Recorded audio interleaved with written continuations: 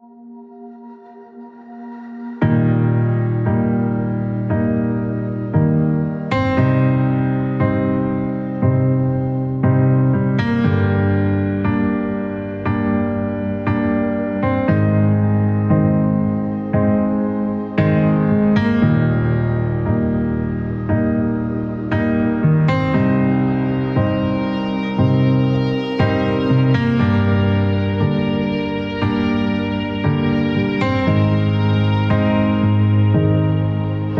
Baby, it's been a long time.